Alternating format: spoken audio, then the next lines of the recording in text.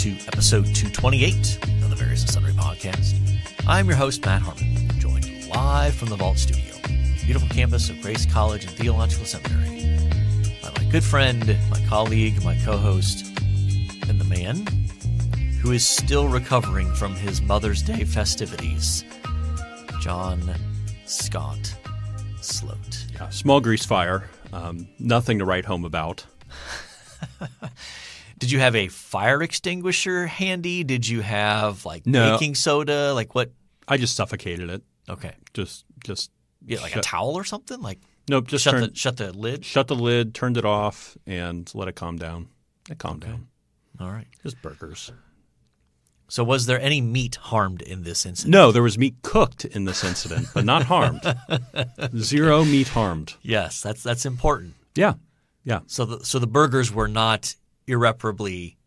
No, no. If anything, they had a little char on them, Yeah. which uh, you know is hard to get on a smoker. So, That's true. so that's we had, true. they were flame kissed. Yeah, that's that's that's one way to put it. Yep. Okay. So nice celebration with both sides, right? Yep, yep. Okay. Both uh, both mothers were there. Okay. Excellent. Excellent. How about you guys? Anything anything exciting at the Harmon home for Mother's Day? Not really. Both our boys were gone, actually. Wow, yeah. boy, we I need to have a talk with them. They need to figure this out. Well, they were they were in Indy, and uh, for Jake's birthday, was it his birthday or his Christmas gift? I can't remember. His Christmas gift. Anyway, he got tickets for the two of them to go see NF in concert. Oh, nice. So I don't. I'll pretend like I know who that is. Yeah. but he's a he's a rapper okay. who apparently is Christian, but he's not a Christian rapper. If you understand that distinction, Okay. So he doesn't rap about Christian things, I think that's correct. Yes, but he may allude to them. Uh, maybe You got a Tolkien thing going on there. Just write it. just write a good, as Tolkien once said, just Yeah. write a good rap, Yeah. and your Christian values will emerge. Yes. That, that's Yes. sort of the idea. Yes, that's a direct, Tolkien on rap songs. Yes, direct quote from his letters. Yes, yes. Tolkien unplugged. Yeah. Yes, indeed. Well, you're you're, you're getting ready to uh, hustle out of here. You, Yeah, yeah. I have a four o'clock fl- flight today. okay? Out of Fort Wayne? No, Detroit. Oh, out of Detroit. So I really got to hustle. Yeah. there. Okay. Well, if you would like to uh, reach the show and uh, talk with John about grease fires, yeah, let's, let's leave it at that. Or anything else, I suppose. I mean, he's willing to field questions. Yeah. Grass. My grass is doing phenomenally. Yeah. Yeah.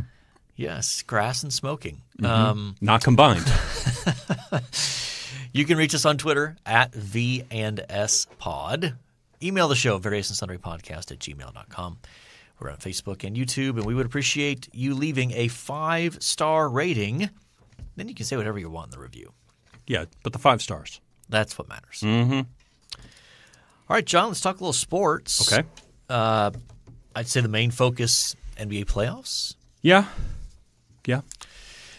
Um, let's start with your Knicks. Yeah. Two two. Yeah, and we're recording on a Monday morning, so Mm-hmm. yesterday was a was was a dumpster fire. For Yeah, a bit of a shellacking. Um, they're not at full strength. I think They lost the Robinson guy, right? they lost Robinson, but they lost him before the series. Um, that was really a Joel Embiid casualty. Uh, we lost OG Anunoby, which I think I'm pronouncing correctly. I'm sure Lee will let me know if I'm not. Um, but uh, we lost him to a hamstring, and he, he apparently is getting treatments three or four times a day right now. Okay. in hopes that he comes back. So he has he was in the two games we won in this series, and he's been out of the two games we lost. And he's a he's a defensive force. Um, Okay. can guard four positions, almost almost five positions on the floor, and almost always has a positive uh, positive uh, number. Well, I don't know what you call that. Plus, Uh, d- minus? yeah, plus minus. Almost always positive. Okay. So we just need him back. Yeah. Uh, by the way, I forgot to mention this in the intro. Did you get the email about they're testing the fire alarms on campus today? Maybe. Okay. I feel like I should mention that I haven't sat at my computer yet today. So. just in the event that a fire alarm goes off in the middle of the podcast. do we have to leave or No, we don't Okay, have to leave. okay. No, no, no. So, anyway, uh, so Oh yeah, look at that. there you go. Yep. Uh, also in the Eastern Conference, uh, Celtics and Cavs at two one. Celtics up two one. Um, and uh, in the West, w- weird series. Uh, Timberwolves and Nuggets. Timberwolves won the first two games in Denver by blowouts, basically by at least ten plus. And then Denver's one. and then Denver has won both games in Minnesota It's kind of the opposite double, of the by double digits. Knicks Pacer series. Yeah. Yeah. So very weird series there. And then the Mavs and the the Thunder tied at two games apiece as well. So I, I'm just glad these series are competitive. I, I I'm least optimistic about the Celtics Cavs. I think Yeah. the Celtics will close that out in five. The other series look like they should go at least six, I would think, Mm-hmm. and maybe seven. Yeah. So I'm I'm hoping that that's the case, uh, just for sheer entertainment. Um, and then the NBA draft lottery was yesterday. Oh, I didn't follow this very closely. So I don't know Hmm. where your Knicks fell, but uh, they're, they're not in the lottery. Sure. But um, they uh, so first pick is going to go to the Hawks, followed by the Wizards, followed by the Rockets, followed by the Spurs. Nice. I, don't know what to say about the draft lottery. I'm not sure know- what the talent pool's like. I don't or know either. Like, it just seems like more and more uh, teams are going after either international players or guys that didn't go to college, like that Yeah. went went these alternative routes, like played somewhere professionally or semi-professionally because they can't go straight from high school into the draft, uh, and then so uh, yeah, and given how much players even move within college basketball, I feel like it's just kind of hard to even identify like who's going to be good. oh yeah, So anyway, just uh, that was just more of an FYI. Let's talk about your Mets. Any struggling right now. I mean, probably the most exciting part has been we called up a 20, 22, 23 year old pitcher, uh, Christian Scott, and he's been great. He's he's allowed less than three runs in each of his first two starts. Throws 96, 97, has what they call a sweeper. You familiar with this pitch, the sweeper? is it a variation of a curveball or a slider? It's like a slider, but it's just much, much further. Like it's much, much more aggressive. Is it side to side movement or is it uh, mostly side to side movement? Okay. mostly side to side movement, and it just it starts in the zone and it ends up like six eight inches off the plate. Yeah. Like like and guys are just constantly fooled by it. Um, Yeah. It's just a saucer, flying saucer thrown up there. It's pretty crazy what professional baseball players can do with a baseball. Yeah. Oh yeah. and the the amount they can make that thing move, like and within sixty feet. I mean, it's Sixty feet six inches. sixty feet six inches. I mean, it's actually less by the time you think about where they release the ball when they stride forward, right off the Yeah. So Yeah. Called extension. They measure that now. yeah, so really, it's what like it's probably several feet of extension by the time. Mm-hmm. So really, you're talking like fifty six feet. Yeah. Like- and, and to be able to hit it is you know and pick up whether it's a a, a curveball, whether it's a fastball, splitter, changeup. So and you have to decide in less than less than a second. yeah. Oh yeah. It's like it's like what like 0.4 sec 0.4 seconds or something. You you essentially have to make your decision like, am Uh-huh. I swinging at this? Yeah. That's wild. So uh, this has come up. He's been a, he's been awesome to watch, and he's like talking to himself on the mound constantly. They gave up a home run, and his last he goes, "Okay, okay, okay, let's go." And he's just looking for another ball to, to throw to the next guy, you know. And he's just totally unfazed. It's it's kind of fun. Uh, He's just wildly confident. Uh, so that's been a lot of fun. We we've hit a tough stretch though. We're not hitting well. We're not. Uh, we're not playing super well, so hopefully, hopefully we can pick that up. the The start of the season is our hardest part of the schedule, Okay. um, and once we get some pitching back, uh, Kodai Senga comes back with his ghost forkball. I don't know who that is. Kodai Senga. oh yeah, you need to look up Kodai Senga. Go look up uh, some Kodai Senga videos. Um, uh, yeah, he, Is, is he of Japanese descent? yeah he's Japanese. Okay. Yeah, um, he has a translator who who has not stolen mil- millions from him um, that we're aware of. Um, As far as we know. so, yeah, um, but yeah, they're they're they're a fun team to watch, but they're they're in a tough stretch right now, and they're in a tough division. So, Okay. Anything else in the world of sports? That's all I got. I don't think so. I came across a new sport this week. A new sport? A new that? sport, uh, goal ball. Have you heard of goal ball before? I don't think so. So I I went to visit one of our alum who uh, uh, is the COO of a not-for-profit organization that works with Paralympics. Um, did you know Fort Wayne has one of nine Paralympic sites in the United States? I did not. Isn't that wild? And they specialize. Like I met members of the uh, women's Olympic team uh, in goal ball. Okay. So goal ball. Let me try to just first of all Google it, but um, three on three, and uh, you wear. It's meant for blind people, and so people that are a part of it have to wear uh, visors that block their vision entirely. Okay. So, uh, and then the goal spans the whole. Uh, if it's a volleyball, if you could think of a volleyball court, Okay. it spans the whole back end All of right. each side. Like the baseline, basically. Yeah, yeah. And then uh, the ball is almost like a hollowed out basketball filled with bells. With bells. With bells. So when you throw it, it just makes a ton of noise. right. And then you have, so you can't see, all you can do is hear. The lines all have like this thin rope taped down all the way around the outside so you can feel where you are. And there's a whole lot of other rules, but basically your your desire is to throw this ball in a way to get it past the other three to score a goal on the other team. Okay. And they do everything they can to stop it while not being able to see. Hmm. And so they're diving in front of balls and, and doing all sorts of things. And then they pick it up and throw it back. Okay. And this is part of the Paralympics. So how how long is the is the court? Um, it's a probably probably a few few yards shorter than a basketball court. Okay. So it's it's fair. Uh, maybe volleyball court might be might be closer, but it's it's a pretty intense little sport. I was I was online watching videos after I walked in. He goes, "Yeah, so this person uh, has four silver medals, and that one has two. Went, wow! And they're we got to talk to them. They're like going to Rio. They're doing all these things. Wow. It was very cool. Huh. The men's team from Fort Wayne made the Paris Olympics, so they'll be at the the Paris Olympics There you go. uh, coming up here this summer. All right.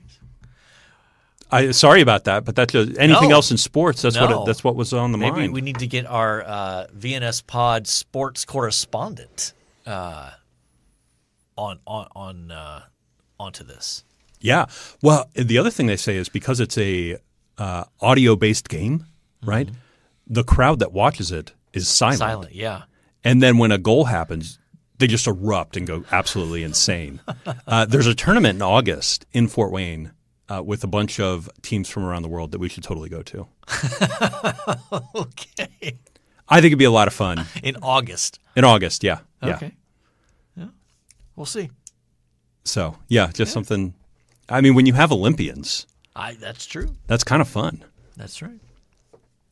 All right. Didn't see it going there. Uh, How could you? I yeah. How could I? All right. I also want to remind our listeners about our summer read.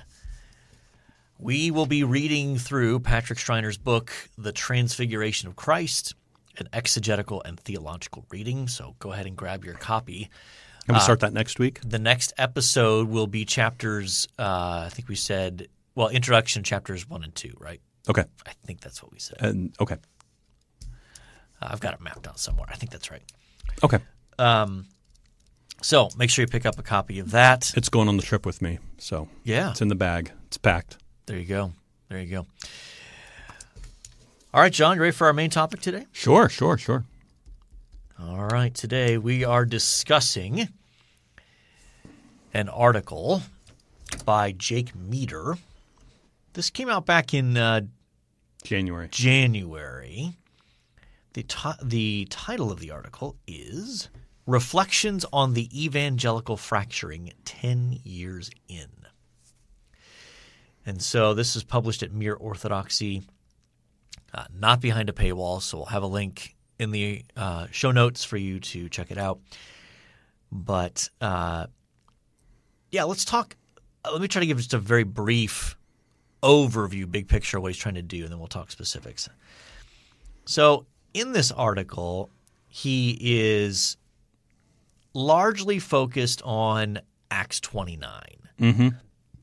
the church planting network, and kind of using that as a paradigm for seeing uh, the the fracturing of the evangelical movement. And um, he he talks about it in th- from three different primary uh, angles in terms of what led to this fracturing. Um, and he, his headings are technology, the use of technology, and perhaps misuse of it, uh, leadership failure, and then leadership styles. So that's the big picture here. Um, so I don't know if you wanted to say anything else in general terms before we start diving into some of the specifics of the article, um, or if you're content to just start diving into some of the specifics. Why don't we? Why don't we? He kind of uses Driscoll, Chandler, Darren Patrick as like the archetypes. Is that a, is that a like, Sure. like like representative? And then sort of on the older generation, the Kellers and Piper, D.A. Carson a little bit as well. Yeah. So within the intro, he talks about those three figures Driscoll, Darren Patrick, and uh, Matt Chandler, all of whom were, at one point at least, uh, either led Acts 29 or like Or very influential. very influential. Yeah. And he does, in essence, kind of compare them to figures, in particular Keller and Piper, um, and a little bit of Don Carson. Yeah, he mentions A- a Don sprinkle, Carson. uh, Yeah. just just a little dash of Don, a little dash of Da in there. Um, so yes, uh, I, I'm guessing most of our listeners are probably familiar with Driscoll and probably Matt Chandler. Mm-hmm. Maybe some of them are not as familiar with Darren Patrick. So, what have were you familiar with Darren Patrick before coming to this article? Oh, what, yeah, yeah. What's what's your memories of Darren? Like, how, how did you come to know Darren Patrick? Well, just because I, I knew he was at the helm or near the near the top of Acts 29 and had a yeah. Uh, so he was at a church in the St. Louis area that had satellites and extensions and all that kind of stuff. I, be, I became familiar. He wrote a book called Church Planter. Mm-hmm. That was the first time I think I encountered him, and uh, I knew he was in St. Louis. Yeah. he had a had a large church in St. Louis, um, Mm-hmm. but uh, left that church, and I don't know what happened to him afterward. I mean, I I know eventually what happened to them. Um, tragically, he He took his own life. yeah he took his own life. Um, I think in S- South Carolina. Is that where he's? I don't know where that happened, but I know. Yeah, the the article focuses a little bit less on him, though he's in here more. It, it tries to frame so Driscoll was the like uh, big personality. Um, how did he frame it here? Um, I want to get the wording here. Uh, Driscoll represented the kind of alpha figure who could draw a crowd, win a following, and define the direction of the network through sheer charisma and force of will. Uh, Darren Patrick represented a more cerebral and patient voice who was in many ways ahead of his time in his analysis of cultural issues, as well as being more balanced in his approach than many of today's commentators. And then Matt Chandler was the more personable balance to Driscoll. Driscoll would deliver the bodies behind the bus type speech, and Chandler could then come in behind to help patch up whatever relational issues were created by Driscoll's harsh style. so he's he's seeing each of them as kind of yeah archetypes within the Acts 29 movement, and trying to assess how did Acts 29 essentially fall apart, Mm-hmm.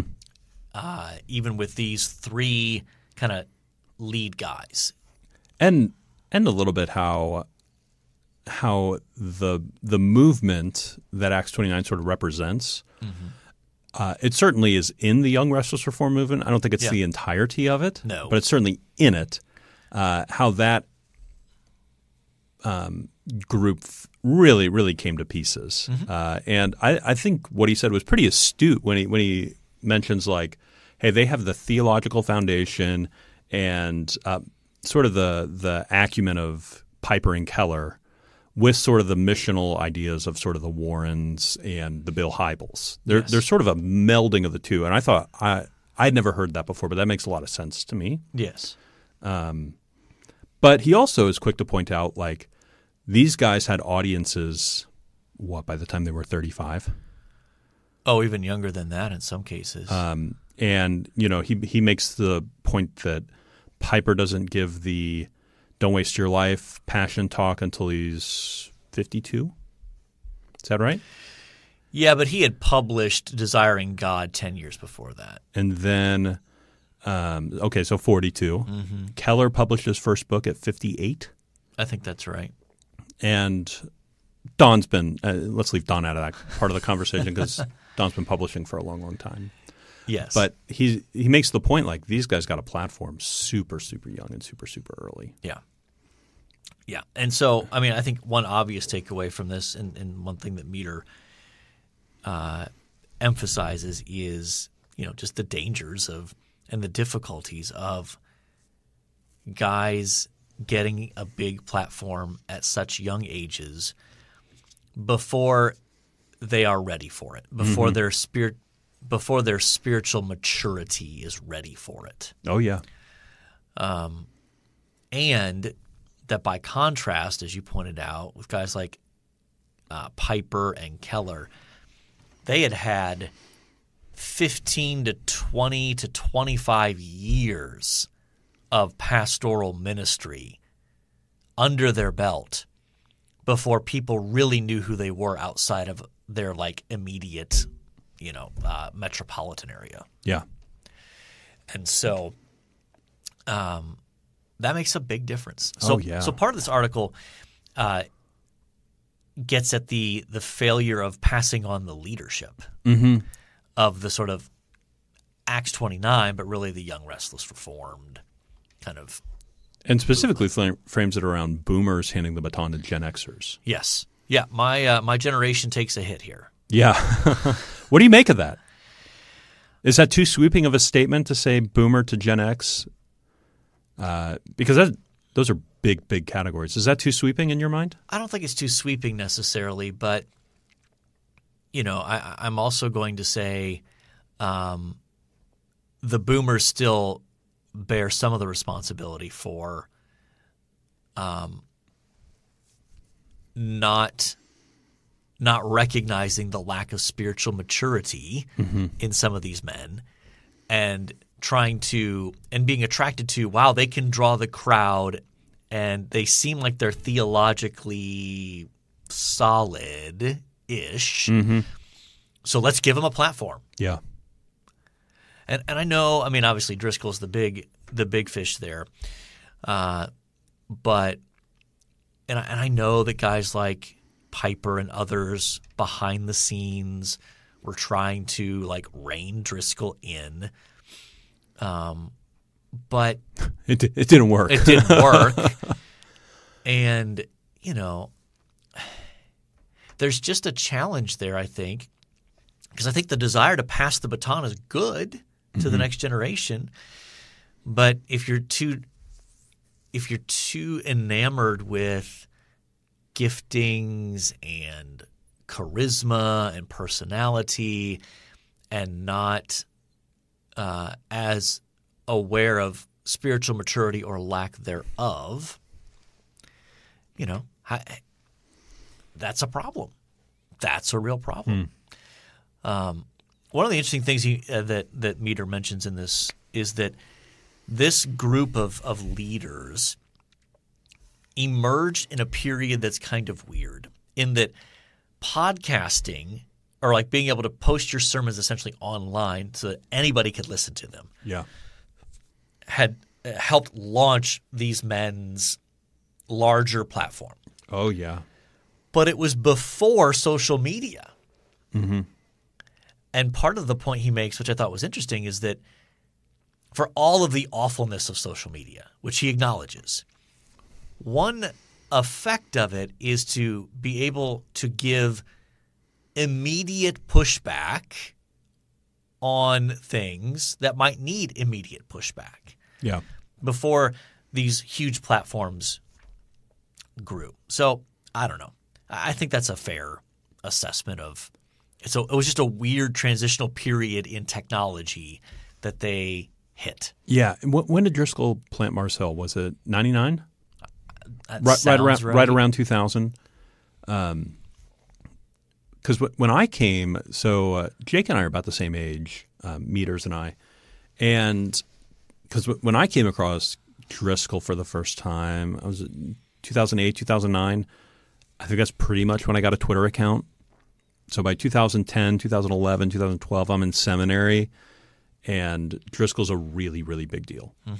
Um, now there were I, I don't think there was a ton of people pushing back on him at that point. From what I remember, in part because this is right in the wheelhouse of Rob Bell coming out with his Love Wins book. Yeah. Uh, and there was a lot of pushback given to that guy, Right. who also had a church called Mars Hill, interestingly Yeah. enough. Yeah. Um, Lesson: Don't name your church Mars Hill. But I, my goodness, I do remember like you could go on there and you could find any sermon, any sermon uh, of his, and Yeah. and Keller was near impossible to find his stuff. Well, he put it up behind a paywall. You had to pay for it. Yeah, yeah, something I, I was not willing to do. Um, I know they used to sell flash drives for like two hundred bucks that you could get all of his sermons. Yeah. and they would mail you a flash drive, which is like the most, which even in 2009, 2010 felt like a really low tech Yeah. uh, solution. Yeah. But even Piper's sermons, I don't think were that easy to come across.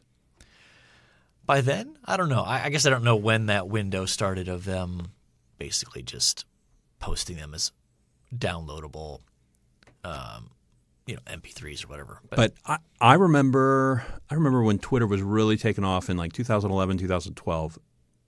Driscoll was the most followed Christian on Twitter. yeah, I believe that. Um, So I, I know he kind of says that social media wasn't around in the article, and but that- by then the platform was already established. it was established. His yeah. point, I think, in the article is as the platforms were being built, there wasn't that. Mm-hmm. But um, But I think it don't think- accelerated it. I, I, I think it was like gasoline on a fire. I don't think. Um, I think when Driscoll published his marriage book, as I think is when that when the pushback really started. Yeah, 2013, Uh, maybe even earlier, twelve, maybe 12. twelve, Okay. because the whole Mars Hill thing was 2014 when it just when it fell apart. Oh yeah, but the marriage book was part of that, right? Because they were manipulating the New York Times bestseller list. Because Mars Hill was yeah, but that didn't come out. I, I think it took. that came out like 18 months later. I think so. Okay. Yeah. Yeah.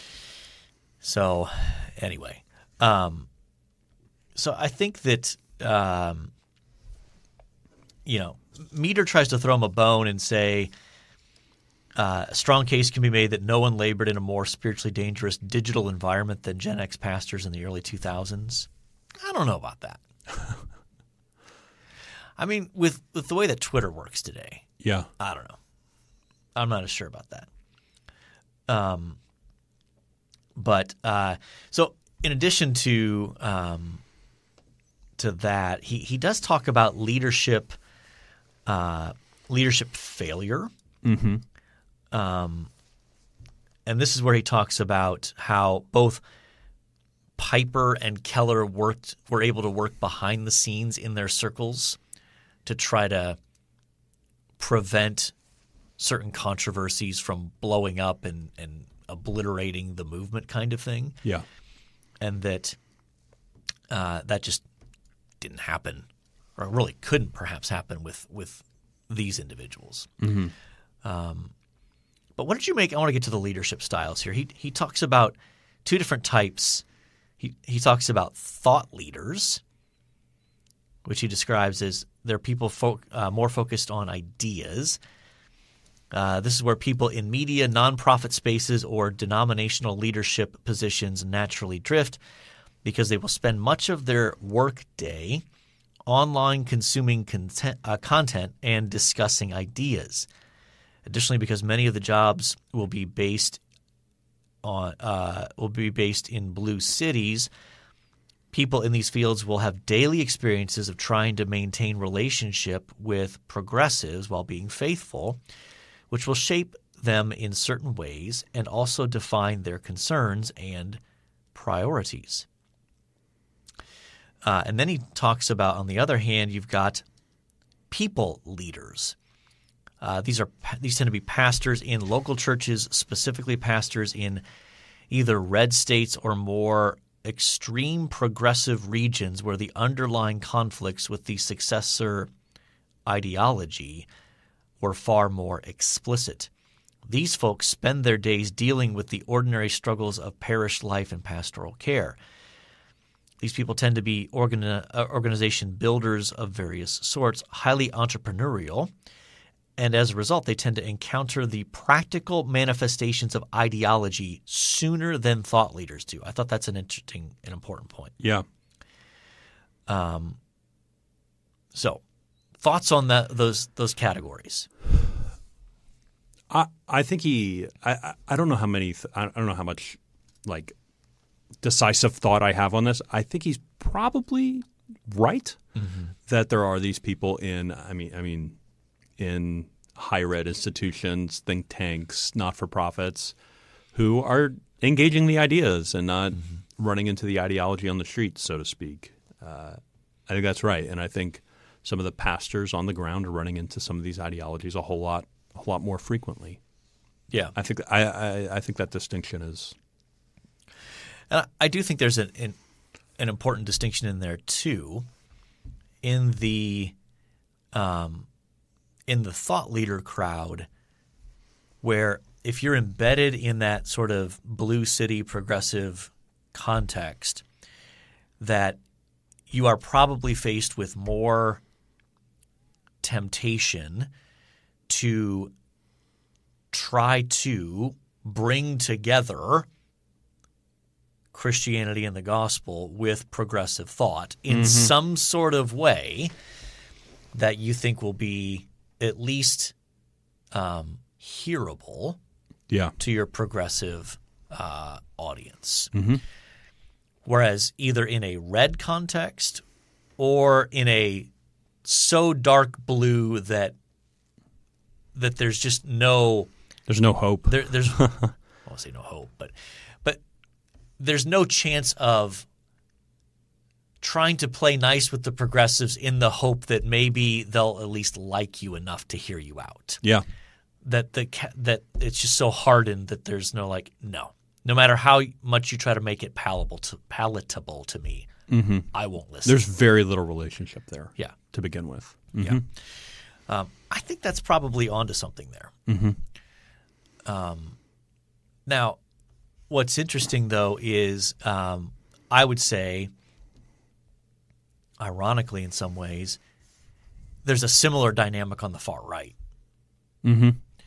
That there can be such an extreme right end of things that you get to a point where no matter how winsomely I try to present the true gospel, you're going to reject it for some for some distortion or some nationalism or some sort of extreme view there.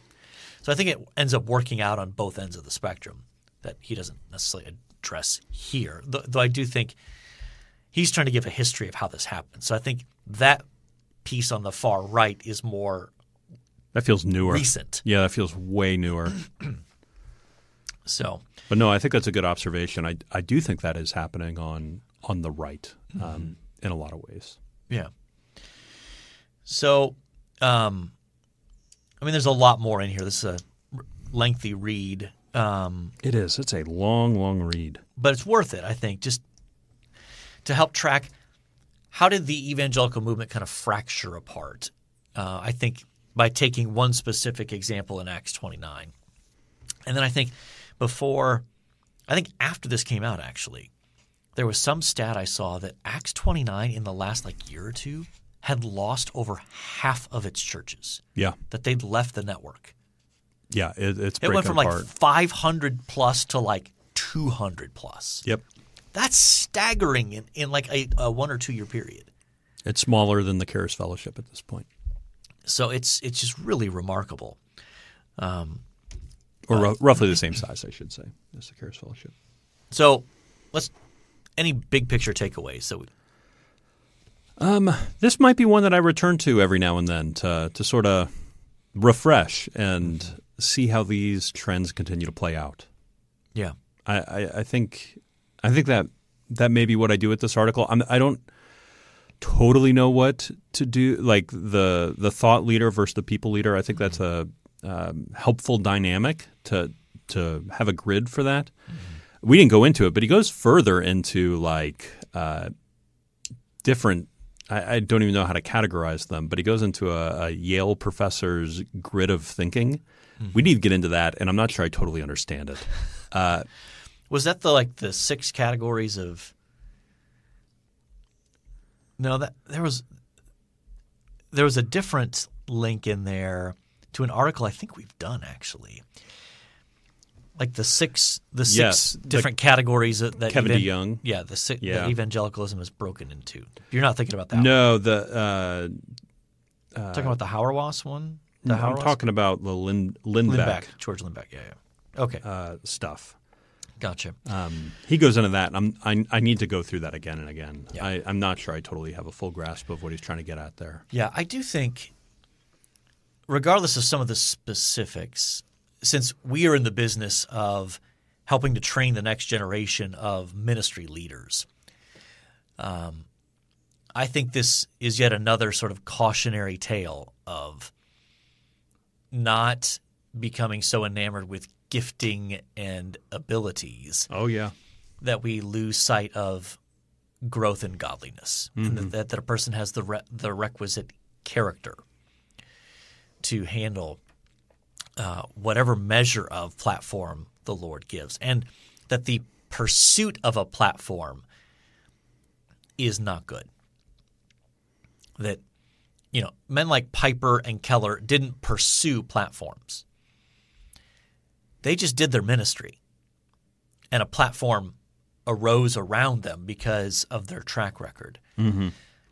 This generation is tempted, I think, to pursue the platform and hope that the character catches up. And, you know, I, I want to be gracious in that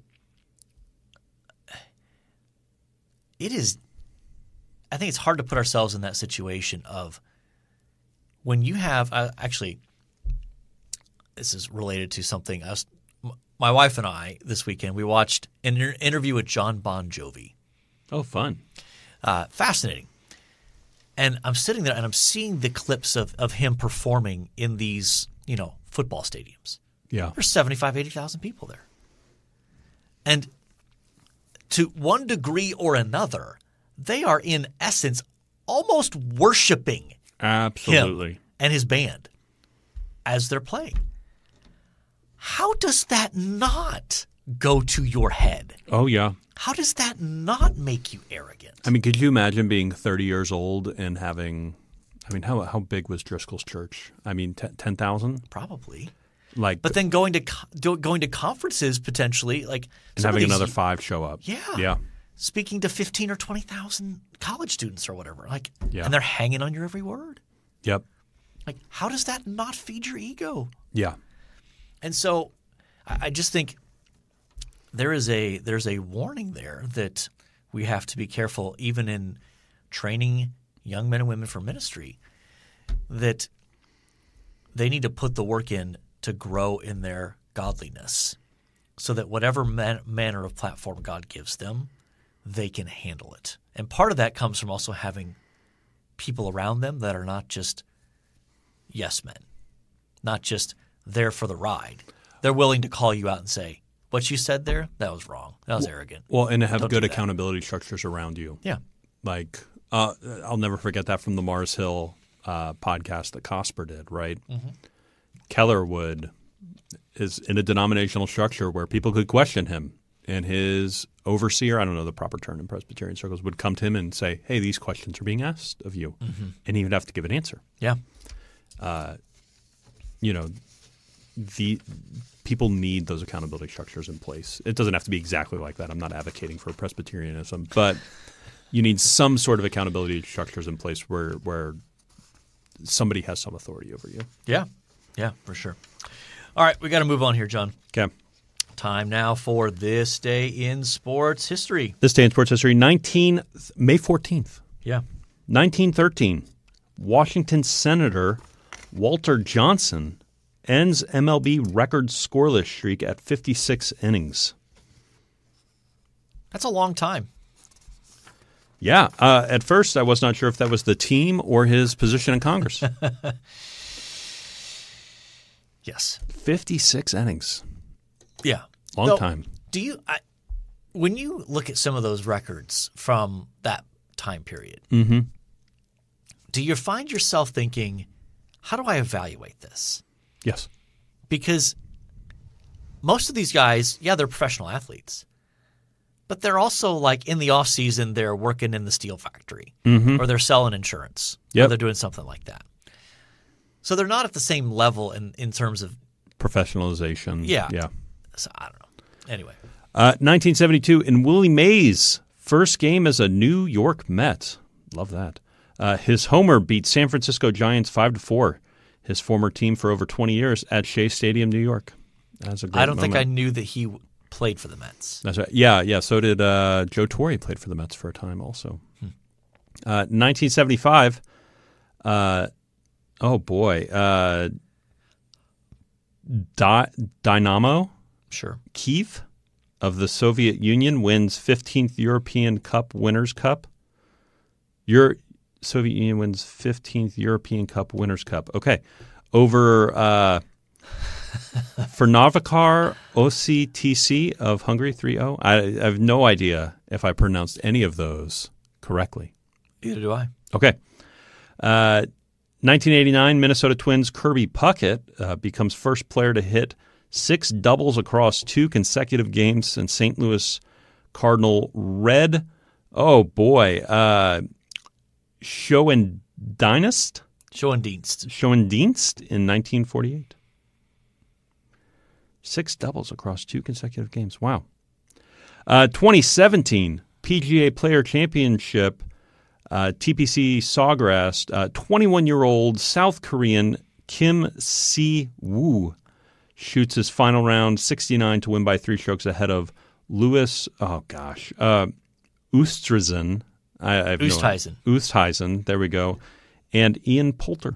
There you go. Uh, 2018 Supreme Court strikes down federal law banning sports gambling in most states. And the world is worse for it. A hundred percent. A hundred percent. Out of that whole list, that is obviously the most historically significant event, Yeah. without question. I'm not saying we should go with that. I'm just saying, historically speaking, that will be by far the most significant. Yeah. I say we name the podcast, you know, our, our first two, and then sports gambling, you know, sports gambling, and make it make it almost sound like we're making an announcement that we're partnering with Okay, Bet MGM or something. there you go. there you go. We're gonna go with goal ball. Yes, yes, the fracturing of evangelicalism and sports gambling. sports gambling. I love it. That's our episode title. Okay. That's wild. I love it. I love it. You- That's great. So, do you want to go with that one as the? oh yeah. Okay. Oh yeah. Okay. All right. One thing you liked. Uh, I'm going to go with goal ball. Okay. I, I see yours and want to echo yours as well, but uh, but I'm We've already kind of talked about mine as well, but I'm Yeah. gonna I'm gonna double back and add one to it. So- Yeah, yeah. I mean, Mother's Day, obviously, great day. But I'm going to go with goal ball. That was probably the most unique part of my week for sure. Yeah. Okay. So uh, I'm going to go with Mother's Day. That was already mentioned. Um, our boys were not home for that, but Kate and I had a lovely day. Um, and I'm just grateful for the uh, terrific mom that she is um, to our boys. Uh, and I will actually add into that as well. Um, I found that in, that uh, one hour interview with John Bon Jovi actually very interesting. Hmm. Okay. So, I mean, Bon Jovi, they they their rise to prominence was like right in my sweet spot of like junior high into high school. Hmm. So, And he's still alive, right? John Bon Oh, yeah. Jovi. Yeah. Yeah. Many of those rock stars aren't. yeah, he just recently had um, something happened to his vocal cords, basically, Hmm. and he had to have surgery to uh, to fix that. But um, yeah, just fascinating to hear. I mean, from New Jersey, came from a very working class background, and uh, yeah, just interesting to see uh, his rise to you know rock star status. Nice. So, and that is my one thing I liked. All right, John, we have talked about goalball. I'm sending you a video later. You're, Okay. you're going to love it. All right. Uh, reminder uh, we'll start our summer read Patrick Schreiner, The Transfiguration of Christ, an exegetical and theological reading. So make sure you read chapter uh, intro and chapters one and two. We have talked evangelical fracturing, not fracting, the oil process of extracting oil from difficult places, right? Yep, Frac- yep, frac- yep. It's called fracting, right? Uh, uh, fracking. Fracking. There's no That's what it T. No T. Yeah.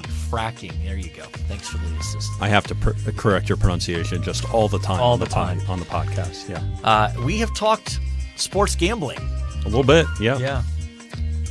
Uh, we have talked goal ball again, Of course. Yeah. and we have talked Mother's Day and a, a documentary on John Bon Jovi. And so I think by definition, we have covered our various and sundry topics. So all that's left to say is until next time, the Lord bless you all real good. Later.